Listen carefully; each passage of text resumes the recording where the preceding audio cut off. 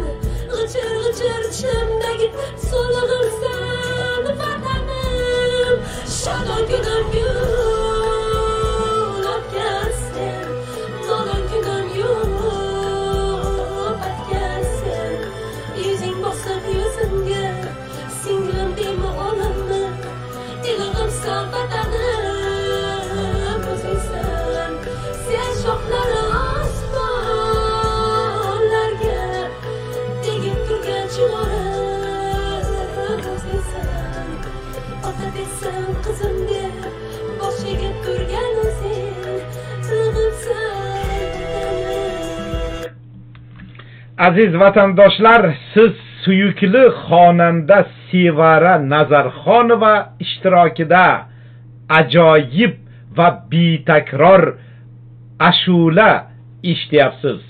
Keyin dasturimiz davom etadi.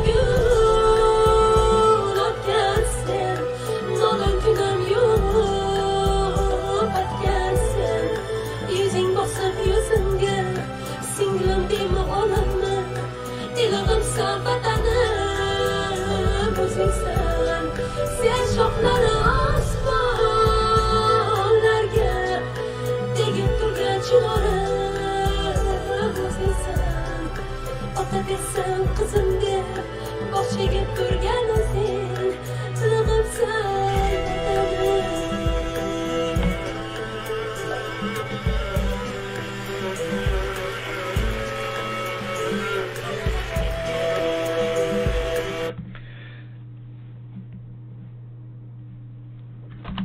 o'zining betakror ashulasi bilan ozodbek nazarbekovni yig'latgan sevara nazarxonovaning ashulasini eshityapsiz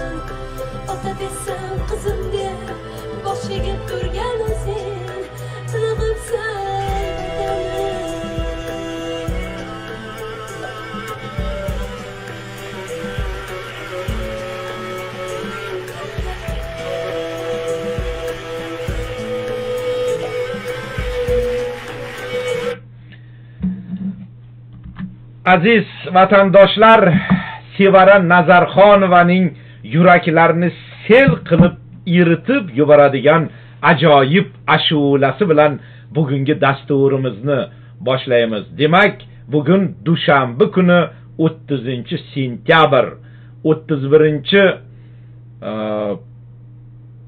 sentyabr va nihoyat biz e, o'qituvchilar murabbiylar kuni bayramlarni ham nishonlayapmiz. Ana shu munosabat bilan o'zbekiston respublikasi prezidentining farmoni e'lon qilindi. Biz bu farmonga qadar bir og'iz murabbiylar va o'qituvchilar haqida gapirishimiz kerak. Endi biz suyukli o'zbek shoiri abdulla oripovning ijodiga birrov nazar tashlaymiz. Demak abdulla oripov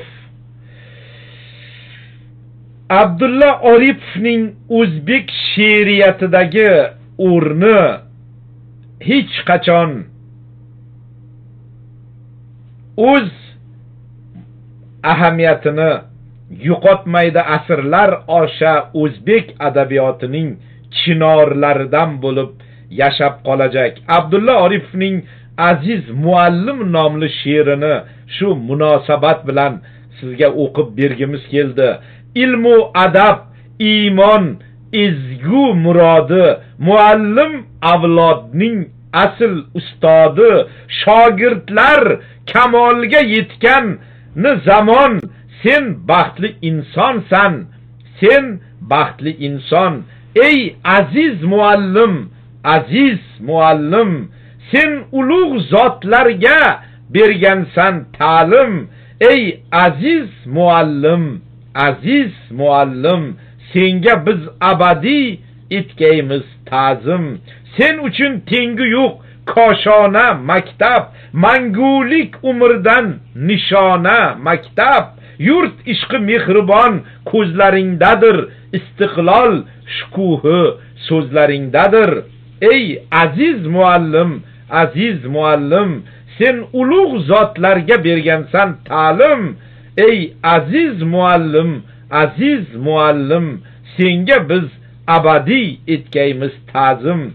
Donishmand avlodlar yulduz quyoshim rahnamo hamisha aziz yurtboshim maktabim maktabim shuhratu shonim ilmu fan diyori. O'zbekistonim ey aziz muallim aziz muallim sen ulug' zotlarga bergansan ta'lim. Ey aziz muallim aziz muallim senga biz abadiy etgaymiz ta'zim. Abdulla oripovning ushbu she'riga yana bir to'rtlikni qo'shimcha qilsak ne ajab. Shoirga dedilar siz baxtli inson xalqingiz ardoqlar hamma taniydi shoir javob qildi menda bir armon muallim desalar meni qaniydi. Abdulla oripov yozgani kabi aziz do'stlar biz ustozlarimizni qancha ta'rifu tavsif etsak ham shuncha oz. Kuni kecha xuddi abdulla oripov mehr va muhabbat bildirgan kabi ana shu aziz ustozlarimiz kuni munosabati bilan o'zbekiston prezidenti shavkat mirziyoyev bir qator vatandoshlarimizga yuksak mukofotlar ordenlar berish haqida farmon imzoladilar. Bular orasida juda ko'p turli xil kasb egalari bor. Lekin biz shular orasida o'z hamkasbimiz toshkent milliy universiteti jurnalistika kafedrasi jurnalistika fakulteti kafedrasi domlasi dotsent ajoyib tinib tinchimas qalbi daryo ijodkor jurnalist to'lqin eshbek ham shavkat mirziyoyev farmoni bilan do'stlik ordeniga sazovor bo'ldi. Biz bugun o'zbekistondan olis kanadaning toronto shahrida turib to'lqin eshbekini ana shu ulug' davlat rahbarining muborak farmoni bilan muborak qutlovi bilan nishoni bilan chin yurakdan muborakbod etamiz. Demak dasturimiz davom etadi aziz do'stlar. Biz bugun yana bir sizga aytmoqchi bo'lgan mavzu bor.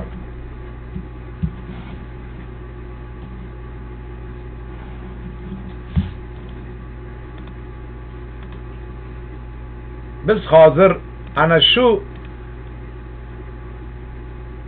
mavzuga o'tish uchun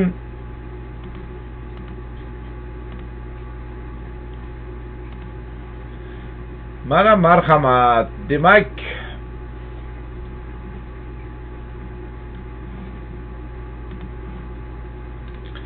o'zbekistonda korrupsiyaga qarshi murosasiz kurash e'lon qilindi.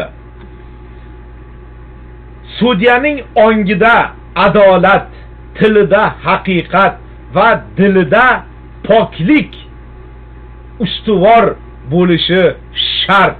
Prezident shavkat mirziyoyevning bu fikrlari o'zbekiston oliy sudida bo'lib o'tgan yig'ilishda yana bir bor tilga olindi.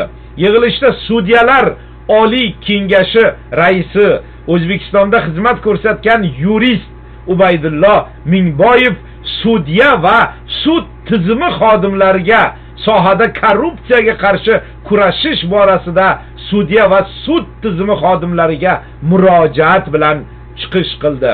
2019 yilning shu kuniga qadar 95 ta sudyaga nisbatan intizomiy ish qo'zg'atilgani 12 nafar sudya sudyalik qasamyodini buzganligi uchun muddatidan oldin lavozimidan ozod etilgani 4 nafar sudyaga nisbatan jinoiy ish qo'zg'atilgani va jinoiy javobgarlikka tortishga rozilik berilgani sohada tub amaliy o'zgarishlarni amalga oshirishni taqozo etmoqda. Qayd etilganidek sudya va sud tizimi xodimlari prezidentimiz shavkat mirziyoyevning endi tamagirlik qilgan sudya siyosatga mamlakat prezidentiga va xalqiga xiyonat qilgan deb baholanadi degan haq gaplaridan xulosa chiqarishi shart. Huquqiy madaniyati yuksak inson qonunni buzishdan qo'rqadi. Jamiyat jinoyatchilik ahvoliga chuqurroq nazar tashlansa jinoyatni aksariyat hollarda dunyoqarashi past ma'naviyati zaif madaniyat va ma'rifatdan tamomila uzoq bo'lsa-da farosatdan nunoq shaxslar sodir etishini ta'kidlab o'tdi Ubaydulla Mingboyev. Ma'naviyati yuksak, irodasi mustahkam inson korrupsiyaga yo'l qo'ymaydi, qo'l urmaydi. Video konferensiya aloqa tizimi orqali ushbu murojaatni barcha darajadagi sud raislari hamda sudyalari, sud tizimi xodimlari, joylardagi jamoatchilik asosida tashkil etilgan sudyalar Oliy kengashiga ko'maklashuvchi komissiyalar a'zolari ham eshitdi deb O'zbekiston axborot agentligi muxbiri Norgul Abduraimovaning biz e, fikrlarini va shu fikrlar asosida O'zbekiston axborot agentligida e'lon qilingan maqolani sizga o'qib berdik. Aziz do'stlar, demak aytishimiz kerak, O'zbekiston prezidenti Shavkat Mirziyoyev keyingi paytda e, korrupsiyaga qarshi turli jabhalarda urush e'lon qildi. Bugun Ubaydullo e, O'ngboyev ana shu masalalarda butun davlat rahbari dohil hukumatimiz va insonparvar adolatparvar kishilarning fikru o'ylarini ifoda etib o'zbekiston oliy sudidagi kattakon bir anjumanda sudyalarni yana bir bor poraxo'rlikdan ogohlantirgani bu hammamizning dilimizdagi ish bo'ldi. Aytib o'tishim kerak ubaydullo e, mingboyev bu kishi demak e, o'z vaqtida O'zbekiston Oliy sudi raisi bo'lib ishlaganlar 90 yillarda bu kishi O'zbekiston sud tizimi tamal toshini qo'ygan e, insonlardan biri. Bugun bu kishi e, sudyalar Oliy kengashi raisi O'zbekistonda xizmat ko'rsatgan yurist. Men Ubaydullo Mingboyev haqida gapiryapman. Chunki keyingi paytda jamiyatimizda juda ko'p mana shu holatlar e, sodir etilyapti. Masalan yaqinganda karimberdi to'ramurod ham samarqanddagi mafiya haqida gapirganida e, mana shu adolatsizliklarga yo'l qo'ygan e, kishilar orasida va ularning atay uyushtirib qamagan ushlagan o'sha oliy o'quv yurtlaridagi bog'cha va boshqa joylardagi poraxo'rlikda ayblagan kishilarni faqat bosh prokuratura qoshidagi e, departament va faqat bittagina ismatova ismli bir ayol kishining guvohliklari va yana bittagina faqat bitta kishining e, buni atrofidan o'tib ketayotganda shu voqeadan xabar topib qolgani va bular asnosida faqat bu ishlarni samarqand shahar jinoiy sudyalar rahbari sud raisi mm, qodirovmidi ana shu kishi ko'rib chiqqanligi bu juda qiziq va bu bu yerda poraxo'rlik shundoqqina korrupsiya ko'rinib turadi. Ana shularni hisobga olganda o'zbekistonda mana shu sudyalarni jinoyatchi poraxo'r korrupsion tizimdagi mana shu e, soha vakillarini ogohlantirib korrupsiyaga qarshi kurashish lozimligini eslatgani biz uchun juda muhim va ubaydullo mingboyevning bu nimasini biz hammamiz qo'llab quvvatlashimiz kerak bo'ladi. Demak aziz do'stlar dasturimiz davom etadi. Biz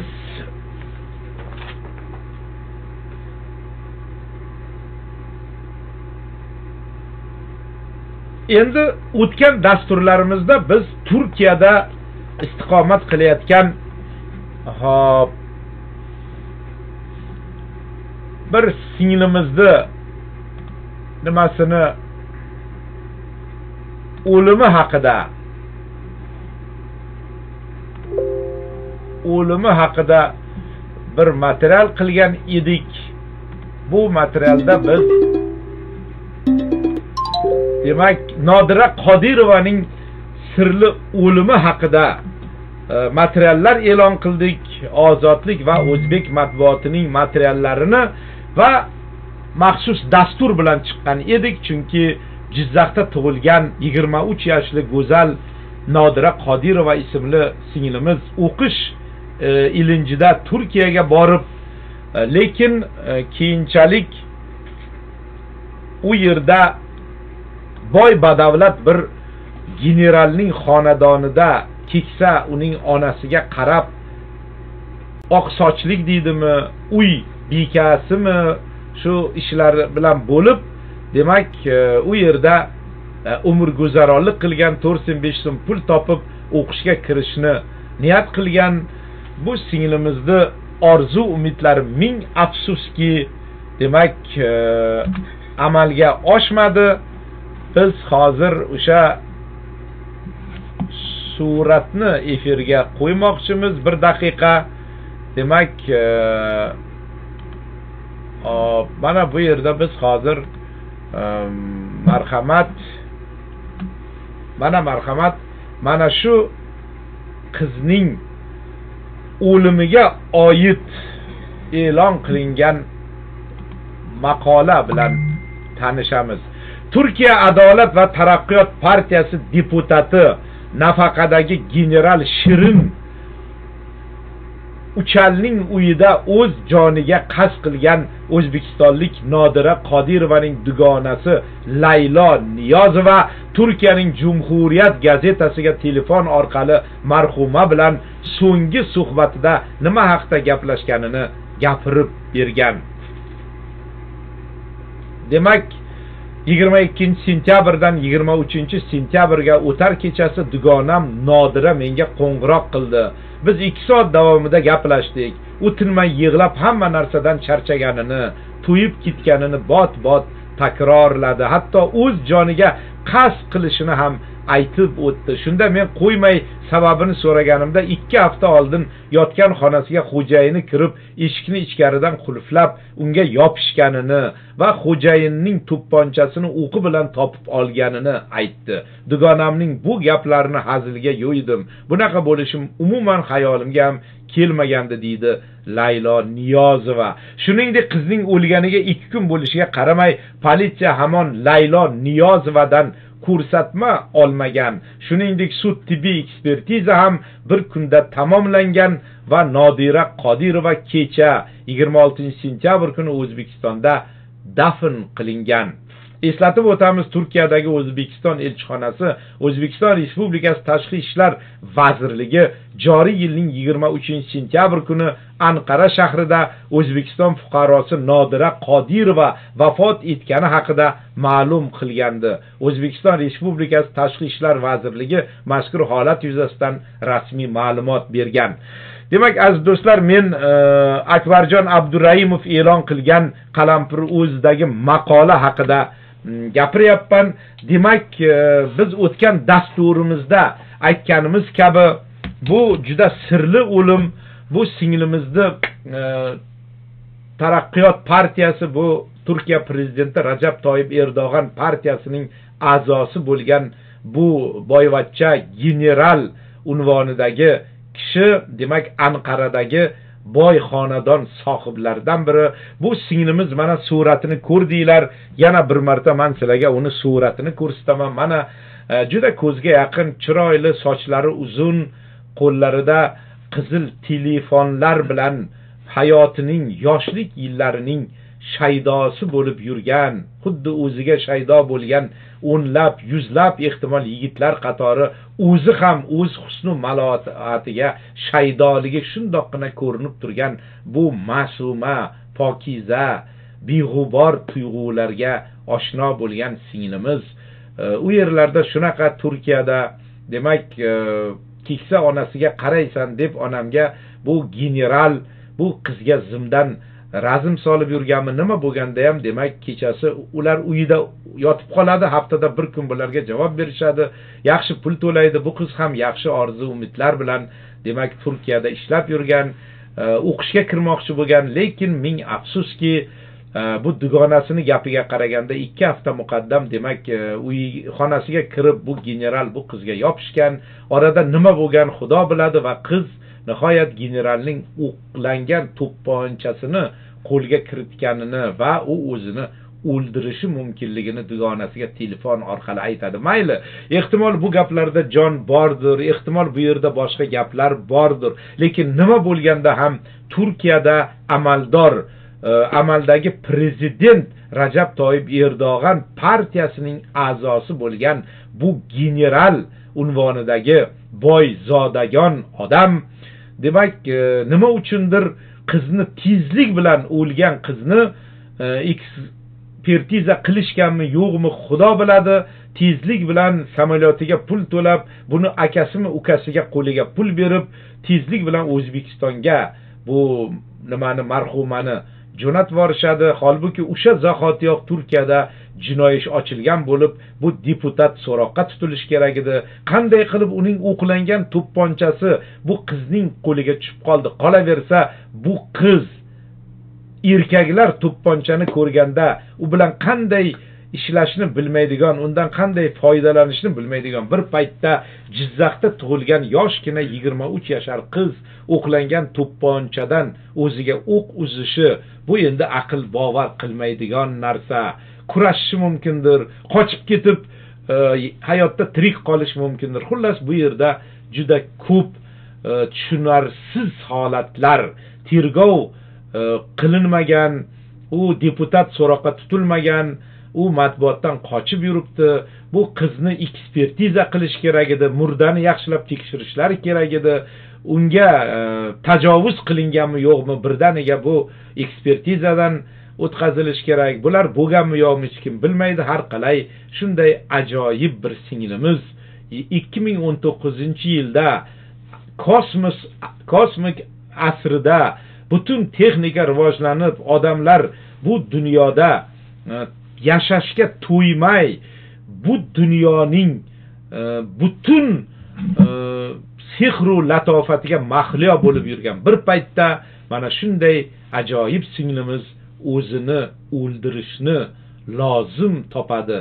Bu endi qay darajada haqiqatga yaqin buni turkiyadagi o'sha tergov mulozimlari aniqlash kerak. Lekin ming afsuski biz bu yerda adolat haqiqat bo'lishini qaror topishini unchalik ham e, topishiga ishonmaymiz. Chunki bo'layotgan tergov jarayonlari mana shundan dalolat beradi. Hatto mana bu singlisi turkiya gazetalariga bu dugonasi intervyu berganiga qaramay mana ikki kundirki bu singlimizni bu qizni o'sha marhuma qizning dugonasini e, hech qaysi tergov chaqirib qani gaplaringni asoslab ber yoki bizga yana bir marta gapirib ber deb taklif qilishmagani kishilarni ajib hayratlarga va hasratlarga oshno etadi. Nima bo'lsa ham men bugun o'zbekistondan olis kanadaning toronto shahrida yashab e, gulday o'zbek qizlari xorijlarda cho'rilik qilib e, umrguzaronlik qilib pul topish ilinjida yurishini istamasdim va ular sekin asta o'zbekistonga qaytib dunyoga yuz ochayotgan o'zbekistonda umrguzaronlik qilishlarini yaratgan egamdan yolvorib so'rardim. Va ayni paytda o'zbekiston hukumati o'zbekiston davlati ham o'z vatandoshlarining ayniqsa qiz bolalarining xorijlarda pul ilinjida yashash ilinjida mana shunaqa tentirab yurishlariga sekin asta barham qo'yishlari lozimligi haqida o'yladim. Demak dasturimiz davom etadi aziz do'stlar. Aytib o'tishim kerak. Demak men hozir e, sizga murojaat qilaman. Meni qanday ko'ryapsiz? Biz studiyamizni tamomila yangiladik svitlar e, qanaqa? Biz hozir ro'paramizda beshta kompyuter qo'ydik. Bir kompyuterdan biz e, programmalarni tayyorlaymiz. Ro'paradagi kompyuterda biz o'zimizni ko'rib turibmiz va yana boshqa bir kompyuter orqali biz hamma narsalarni sizga uzatyapmiz. Bizning ro'paramizda uchta haligi qo'yilgan kamera qo'yilgan. Demak biz sekin asta takomillashib boryapmiz sekin asta e, yaxshi dasturlarni yo'lga qo'yish ilinjida mehnat qilyapmiz. Mana hozir bugundan boshlab endi bitta nimadan ko'rasiz meni ham agar man abdulla oripovdan she'r o'qisam abdulla oripov rasmini agar birorta video e'lon qilsak mana hozir siz sevara nazarxonni ashulasini o'sha bitta kompyuterdan endi men orqamga o'girilib mana bu tomonlarga qarab sizni asabingizni buzmayman. Demak biz sekin asta rivojlanib boryapmiz. Bugungi dastur haqida men har birlaringizdan fikr so'rardim. Agar hozir bizda hali vaqt e, hozir man qarayman qancha vaqt bor bizda. Demak hech qancha vaqt qolmadi shekilli. Bo'lmasa men e, demak e, va vaqt bor ekan. Demak bizni dasturimizni ko'rayotganlarni men fikrlaringizni yozing.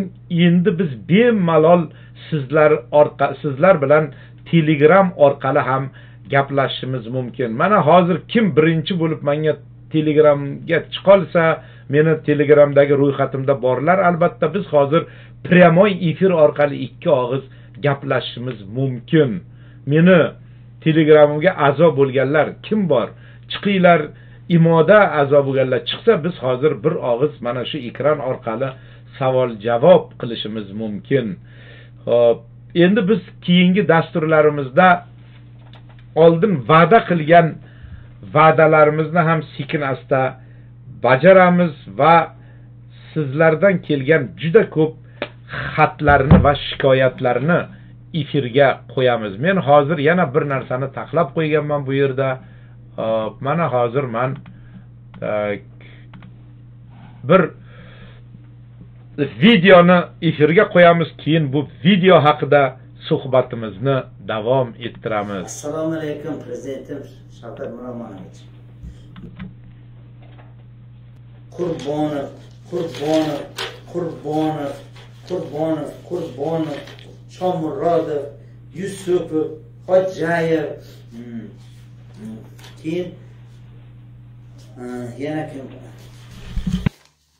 Ota ota murodov keyin oxirgi murojaatimni o'rgangan razoqov abbos bilan ibragim rustamlar. Ularga ular biron marta meni chaqirmadi. Yettinchi marta murojaat qilgandan keyin bordim men. Astagina borgandan keyin men ular ham chaqirmadi. Men o'zi faqat javob xati kelaverdi javob xatini olib borgandan keyin men unga keyin talabimni aytdim. Menga dedim kuniga nachsленияni berasan hamma hujjatni berasan. Yettinchi murojaatdan keyin men mana bu ish haqimni hamma hujjatlari bilan hammasini oldim shundan keyin bu e, bo'lgandan keyin bu oy orada iyun kelib qoldi. Iyun olti oy yetti oy o'tdi martdan keyin. E, martdan keyin yetti o'tgandan keyin men bu hujjatlar olgandan keyin bironta oy to'g'ri ishlanmagani ish haqim yashirilgani to'ylangan pulam besh million pulam noto'g'ri hisoblanganini amin bo'lib prokuror yana prokuraturaga yana murojaat qildi.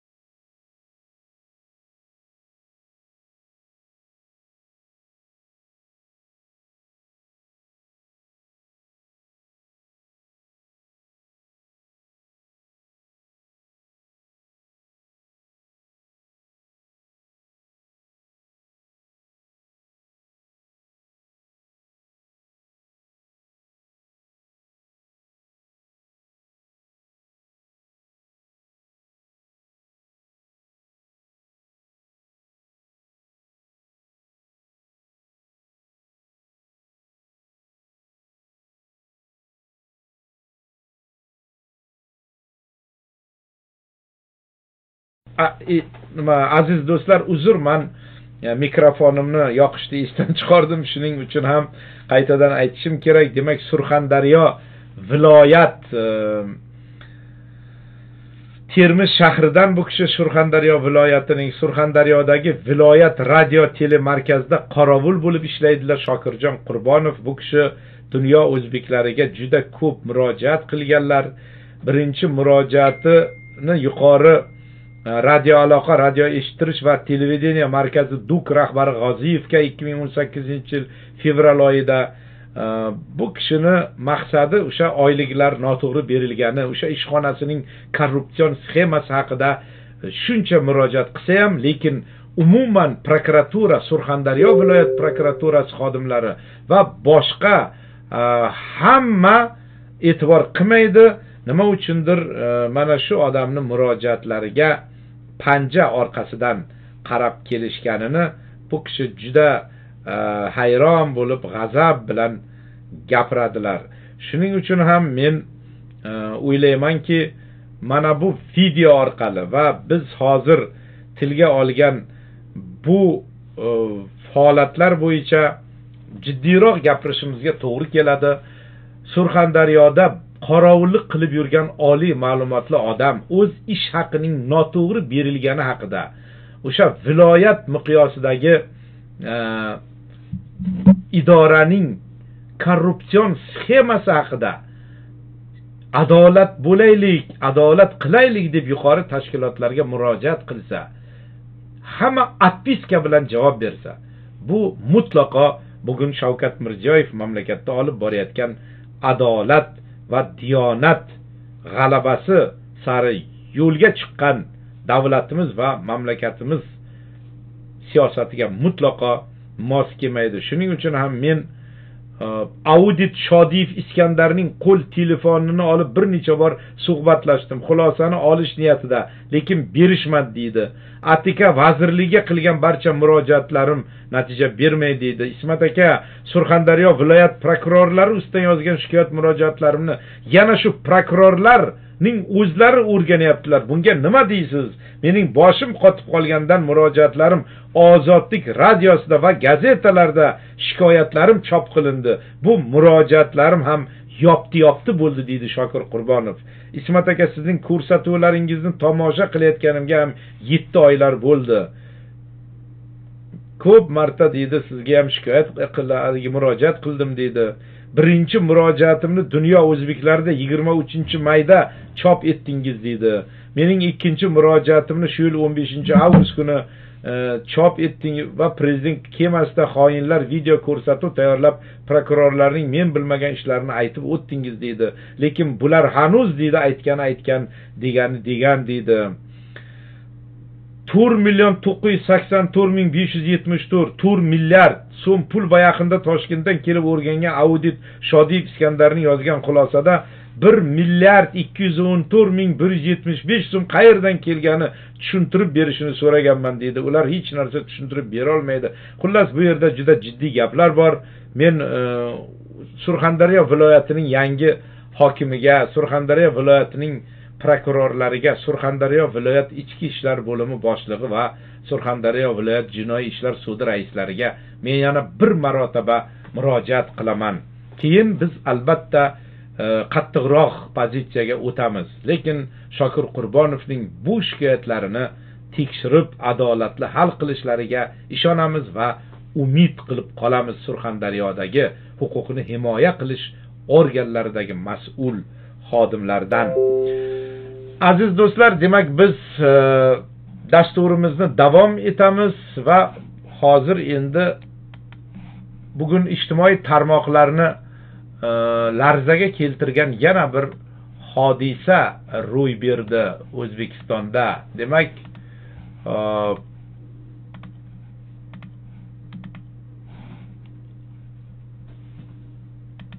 biz demak e, qayerda biz farg'ona viloyat hokimining nutqini qayerda tayyorlab qo'ygan edik? Ana shu nutq bo'yicha biz demak e,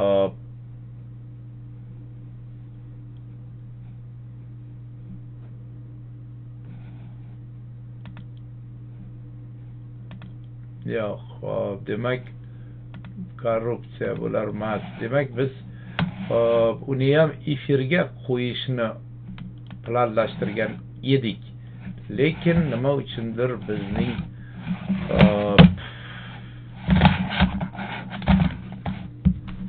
hozir biz uni ham topamiz do'stlarim hop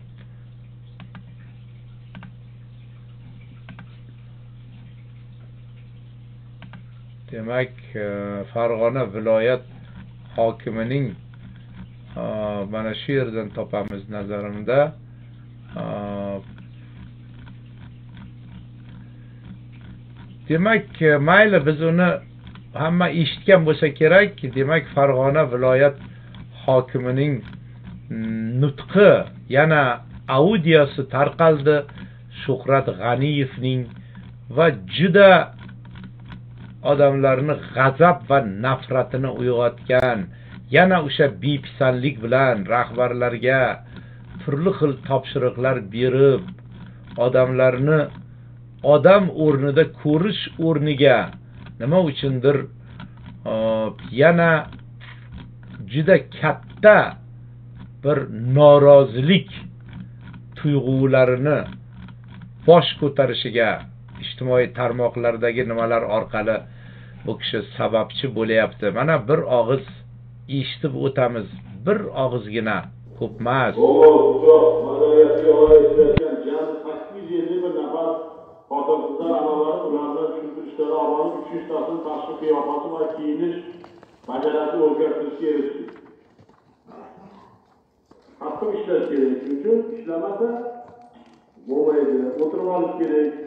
Keyin jamoatchilik muhokama hokim hokim o'rinbosari mahalla ko'pchilik bo'lib ishlash xotin qizlarimiz o'rtasida arab turk va boshqa millat vakillarini milliy liboslariga taqlid qilish masalasi ketgan ana qosimova nima degani arab turk kiyimini taqlid qilish?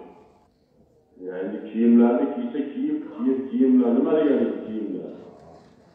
Yani umumiy gaplarni gapirmang. Nima kiyyapti u? Ana kiyim kiyyapti qachon beryapti o'sha kiyimni? Savdoda sotayotganmisinmi yo o'sha savdoda sotayotganda o'zbekiston respublikasi konstitutsiyasi bilan kiyinish libosiga qonunni buzgan do'kon deb manga ro'yxatini olib kelgan